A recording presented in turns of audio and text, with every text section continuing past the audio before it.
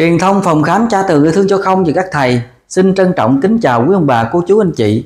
Hôm nay thứ Sáu, ngày 27 tháng 9 năm 2024, Thành Võ đang có mặt tại phòng khám cha từ yêu thương cho không và các thầy, nơi hỗ trợ điều trị ung thư miễn phí tại ấp Dòng Lớn, xã Vinh Kim, huyện Cầu Ngang, tỉnh Trà Vinh.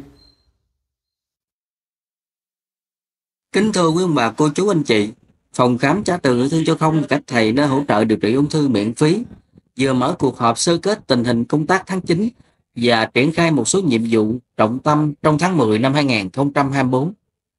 Tại cuộc họp, các thầy thuốc và nhân viên đã điểm lại một số công tác trọng tâm trong tháng qua với nhiều công trình phần việc đáng chú ý.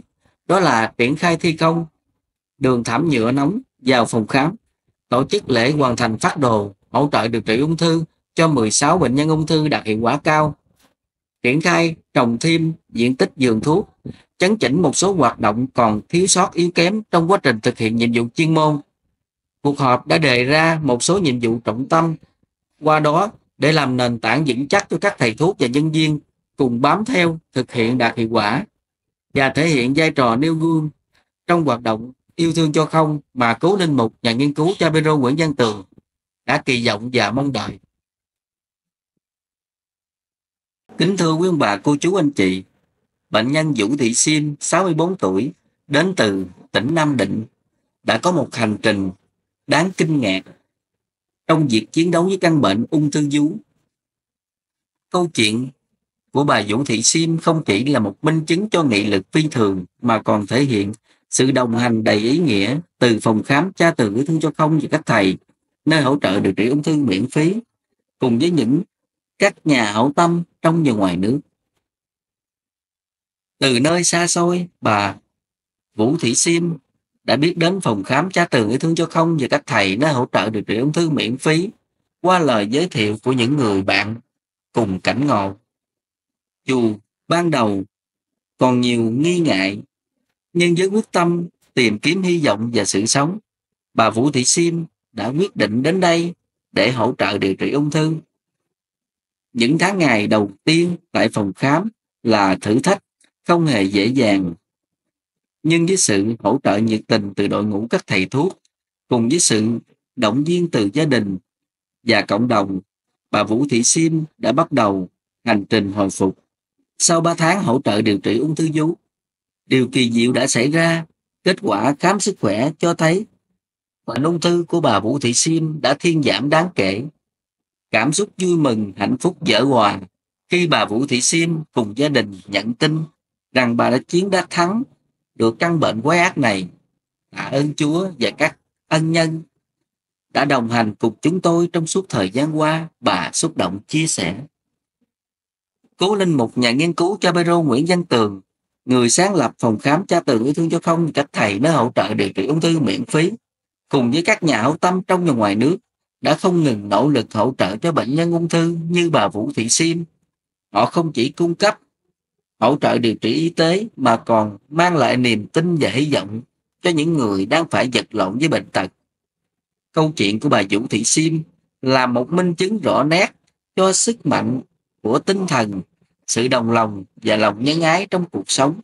Hành trình của bà Vũ Thị Sim không chỉ là chiến thắng bệnh tật mà còn là hành trình truyền cảm hứng cho nhiều người bệnh ung thư phép khẳng định dù trong hoàn cảnh khó khăn nhất luôn có ánh sáng hy vọng ở phía trước. Xin trân trọng. À, dạ thưa cô cô có thể cho con biết họ tên nhưng đến từ đâu vậy cô? Vâng. À, cô xin giới thiệu cô là Vũ Thị Sim. Cô ở Nam Định năm nay cô 60 năm tuổi. Cô bị bệnh ung thư vú à, cô đã bị 4 năm nay rồi. Cô có thể cho biết triệu chứng ban đầu của cô như thế nào và cô trị bệnh ở đâu vậy? Triệu chứng ban đầu là cô có u ở vú. Thế là cô đã đi chữa ở K3 Tân Triều là 4 năm nay rồi. Nhưng mà bây giờ là nó có kéo hạch lên nách. Cho nên là cô được à, tin con cô nó ở đây thì ở Bình Dương nó bảo bây giờ mẹ con thì con nghe thế như này. À, ở cha Nguyễn Văn Tường cha chữa bệnh bằng thuốc nam thì mẹ cứ vào đây mẹ chữa xem là thế nào. Thì là à, con ờ, con là nó đưa con vào đây luôn.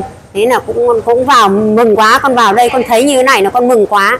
Thế bây giờ à, được hai tháng 6 ngày rồi thì bây giờ là đưa kết quả đến cho thầy. Là thầy bảo là kết quả là à, ok rồi con mừng quá thầy ạ. Ừ. rồi cô đi bệnh viện nào? À, bệnh viện K3 Tân Triều thầy ạ. Vâng. Ở đó có tư vấn như thế nào cô thì họ tư vấn là họ chỉ cho uống thuốc nội tiết thôi. Đấy thì đi khám định kỳ hàng tháng một. Ừ. mình có quá trị gì không cô? Không ạ cô bị 4 năm nay rồi. À, thưa cô vậy cô có thể ờ, kể chi tiết á, là cái ngày mà cô đến đây á là đi với ai là vô gặp ai Ừ. trị bệnh như thế nào? Vâng, cái ngày cô đến đây thì con trai cô nó dẫn tới đây. Thế là à, gặp cái người mà họ ở đây, họ chữa ở đây rồi. Thế là họ dẫn cô vào, vào gặp à, thầy Thanh luôn ạ. Vâng, thầy thanh tư vấn sao vậy cô? À, thầy à, Thanh thì thầy bảo là à, cái bệnh của cô này là phải chữa 3 tháng thì là mới được. Nhưng đến bây giờ cô mới chữa được hơn 2 tháng, cô đi khám thì thấy bệnh của cô bây giờ là thuyên giảm rất nhiều rồi. Vâng. thưa cô vậy thì à, trong quá trình mà cô chữa bệnh hơn 2 tháng ở đây Ừ. rồi cô đi bệnh viện nào để xét nghiệm là nó ờ, được các bác sĩ cho biết là mình ờ, ung thư đã, đã, đã cơ bản đã được ổn định Ừ. Cô đi khám ở bệnh viện Thiên Ân Trà Vinh ạ. Vâng. Thì là một tuần là cô lấy được kết quả hôm nay sáng hôm nay cô lấy được kết quả giờ đem vào. Thầy bảo là kết quả là ok rồi. Cô mừng quá. Vâng. thưa cô vậy trong thời gian Vâng. mà cô trị bệnh đây hơn 2 tháng vậy cô có thấy ở đây có ấn tượng gì đối với cô không vậy cô À, không thầy ơi, cô cũng nói thật là cô thì à, rất mừng là các thầy, các ừ, à, quý vị trong phòng khám rất là nhiệt tình mà à, yêu ái, à, rất là là là cô rất là là là là là, là cảm ơn tất cả các quý vị trong à, phòng khám. Cô cũng chả biết nói gì hơn, cô chỉ biết nói lời cảm ơn thôi. Trước hết là cô cũng xin là à, tạ ơn Chúa và cảm ơn cha, cảm ơn à, tất cả các thầy thuốc, các cô và các mạnh thường quân à, trong và ngoài nước. Cô cũng chả biết ừ, nói gì hơn, cô cũng chỉ biết nói à, lời cảm ơn thôi. Và cô chúc tất cả các à, thầy thuốc, các à, mạnh thường quân và toàn bộ các quý vị trong phòng khám lời chúc sức khỏe, gia đình hạnh phúc. con xin hỏi cô câu nói vậy Vâng. thì à, trong quá trình mà cô giữ gìn cái phương pháp Ừ. à, hỗ trợ điều trị ung thư như thế nào Ừ. để các bệnh nhân sau này ta học tập noi theo được cô Vâng, cô thì cô cứ theo cái pháp đồ của các thầy đã cho ăn uống như thế nào cô làm đúng y hệt luôn.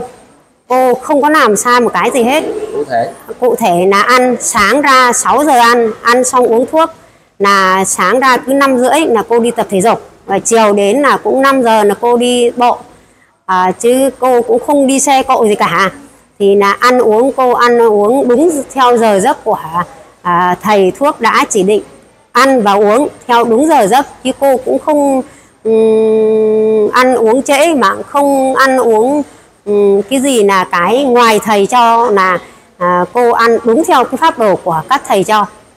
Vậy thì từ Ừ. tới khi ra viện trở về nhà là cô có thể thực hiện tiếp tục cái, cái công việc của cô nữa không? Có. Cô thì nói thật cô xin hứa với lại các thầy là bây giờ à, cô ăn đúng theo cái pháp đồ của các thầy đã chỉ dẫn cho cô là cô sẽ về nhà cô ăn đúng theo cái pháp đồ ấy.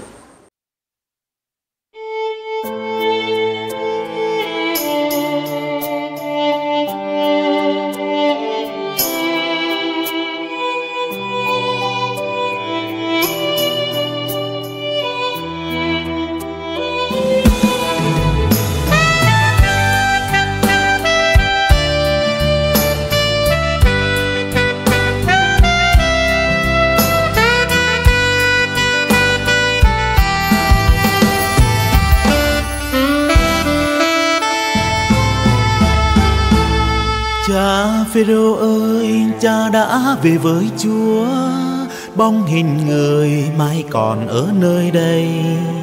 Cha ra đi con thương nhớ đông đậy, đến bây giờ vẫn khắc khoải không nguôi.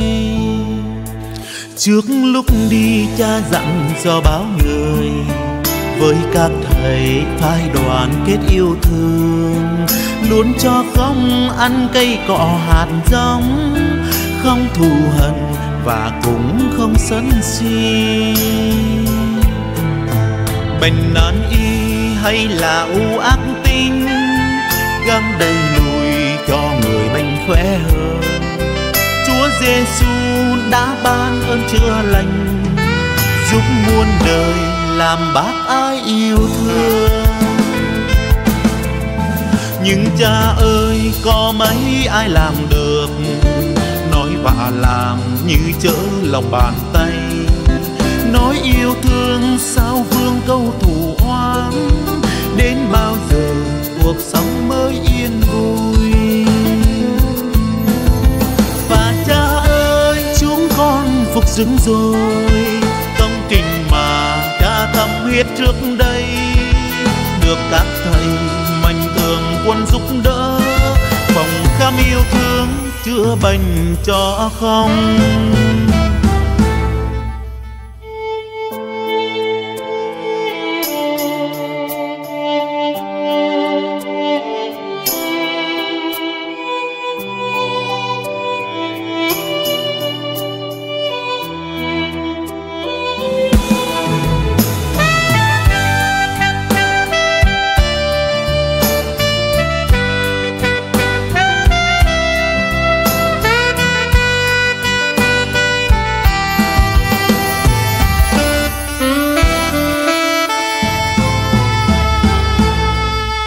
Cha Phêrô ơi, cha đã về với Chúa, bóng hình người mai còn ở nơi đây. Cha ra đi, con thương nhớ đong đậy, đến bây giờ vẫn khắc khoải không nguôi.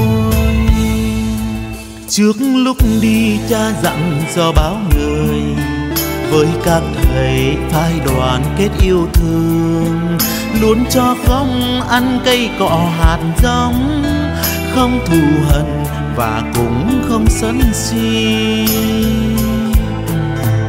Bệnh nan y hay là u ác tính, gắng đầy lùi cho người bệnh khỏe hơn.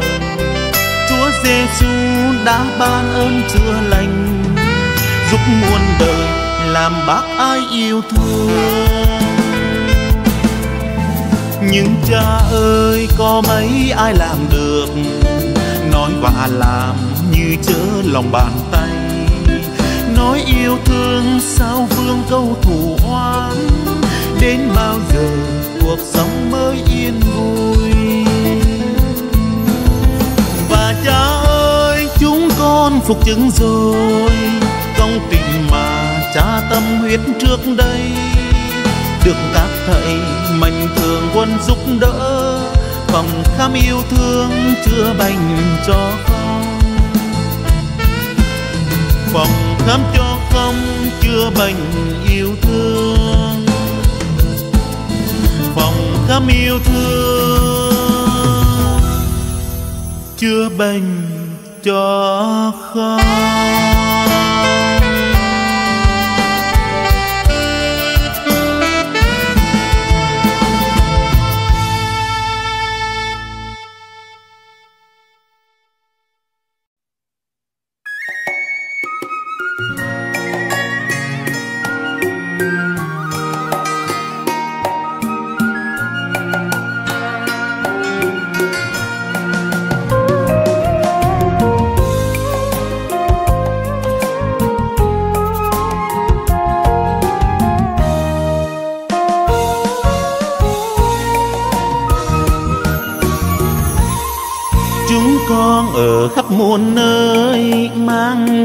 bắn trong người. Căn bệnh ung thư cha ơi, hôm nay con trở về đây. Cầu ngang có một ông thầy, chữa bệnh cứu người rất hay. Chúng con ở tận miền trung, con thì ở ninh bình, con thì ở tận trà vinh. Hôm nay được đến bên cha ăn cây cỏ mang hạt giống với lòng yêu thương cho con. Ăn cháo nà nó uống trà thao dừa vậy mà người ơi, xóa tan khối u ác tính xoa dịu nỗi đau người bần, mang lại hạnh phúc khắp nơi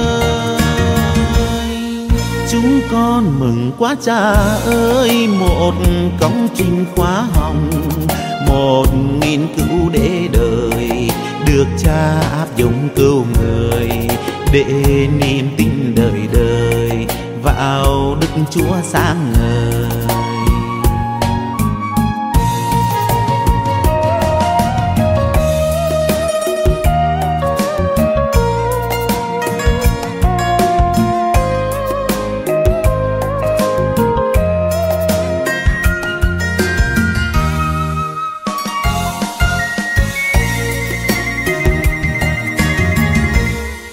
Chúng con ở tận miền trung, con thì ở ninh bình, con thì ở tận trà vinh.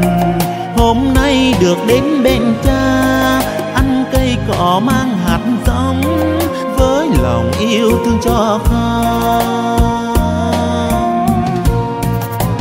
Ăn cháo nà nó uống trà thao dừa vậy mà người ơi xóa tan khối u ác tính, xoa dịu nỗi đau người bần, mang lại hạnh phúc khắp nơi.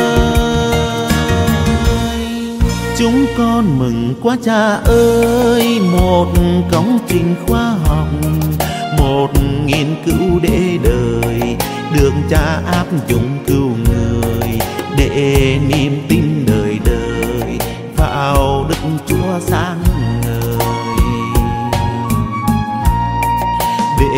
niềm tin đời đời. Vào thiên chúa sáng con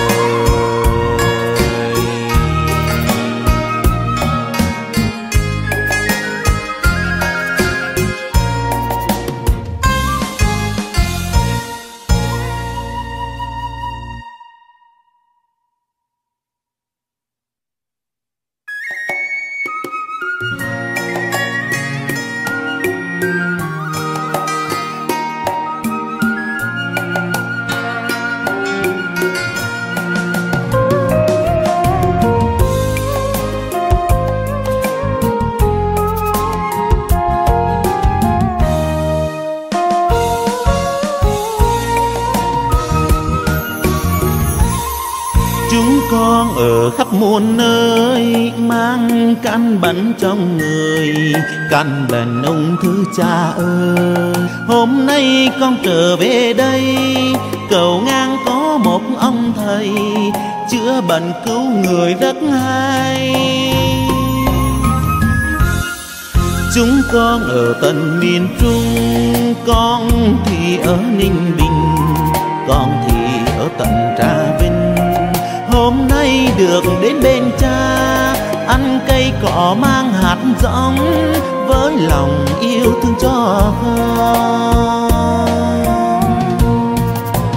Ăn cháo nà nó uống trà thao dừa vậy mà người ơi, xóa tan khối u ác tính xoa dịu nỗi đau người bần, mang lại hạnh phúc khắp nơi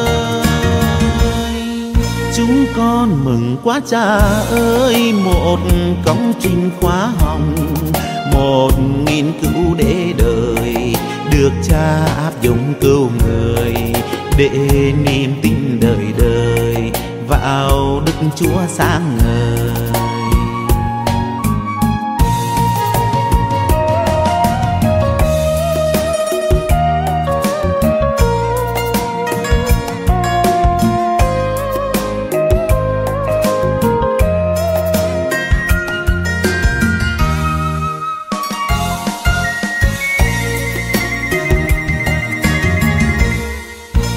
Con ở tận miền trung.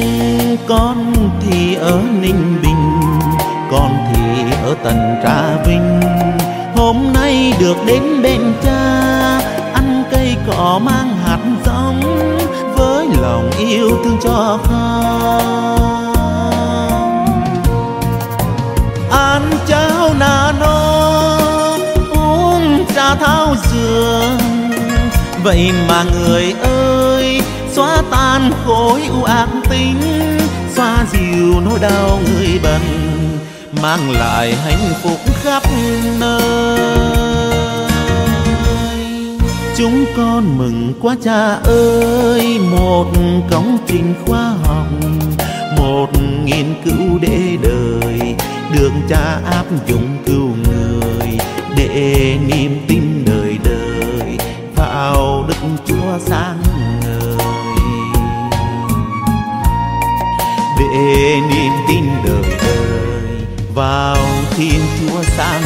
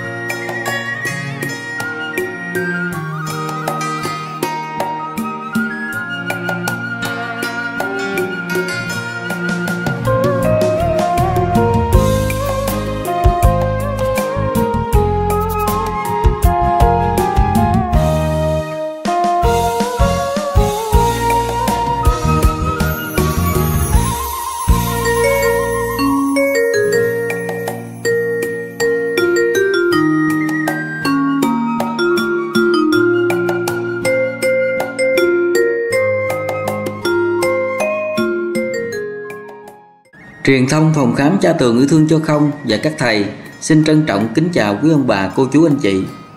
Hôm nay, Thành Võ xin thực hiện đoạn video clip hướng dẫn đường đi đến phòng khám cha tường yêu thương cho không và các thầy nơi hỗ trợ điều trị ung thư miễn phí tại ấp Dòng Lớn, xã Vinh Kim, huyện Cầu Ngang, tỉnh Trà Vinh.